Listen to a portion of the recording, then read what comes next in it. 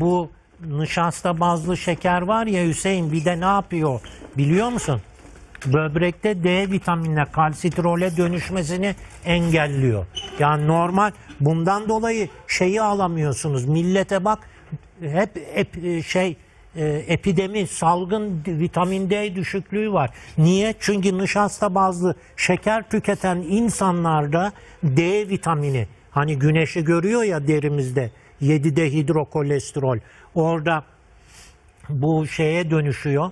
e, D vitamininin ön basamağına oradan karaciğere ve böbreğe gidiyor. İşte orada böbrekte D vitamini, aktif D vitamini oluşacak. İşte bu nişasta bazlı şeker var ya fruktoz dediğiniz. İşte o bunun oluşumuna engel, Engel oluyor. oluyor. Ondan sonra millette D vitamini eksikmiş. Ya ben bu da moda oldu herkes de. Moda.